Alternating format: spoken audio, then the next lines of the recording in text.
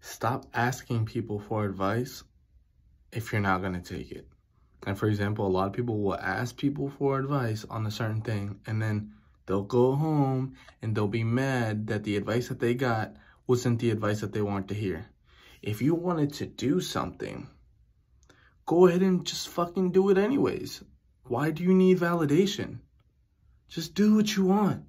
Stop wasting people's time. Stop wasting your time. Stop getting frustrated over things that you can't control, like someone having a different opinion from you. It's a waste of time and it's stupid. You know what I'm saying? And that's why, like, when people ask me for advice, I try. Um, I ask them like, well, so what kind of advice do you want? Do you do you want do you want me to just listen to your story, or do you want the truth? Because now I see that a lot of people just complain for attention and don't actually want the help.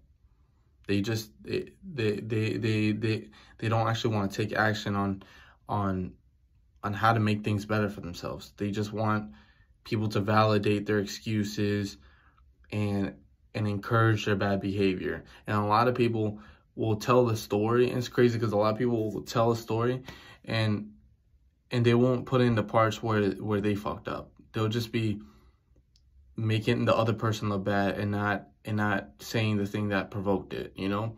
Like, bro, tell the full story, you know what I'm saying? Like, and, and, and stop seeking for attention, you know what I'm saying? Like, because if you know that you did some fucked up shit, then you did some fucked up shit. Or if, if you know that you got hurt, eh, don't put up with the person that keeps hurting you. Leave. Stop trying to, stop trying to find a person to validate your own your own agenda. Just do what you want to do anyways.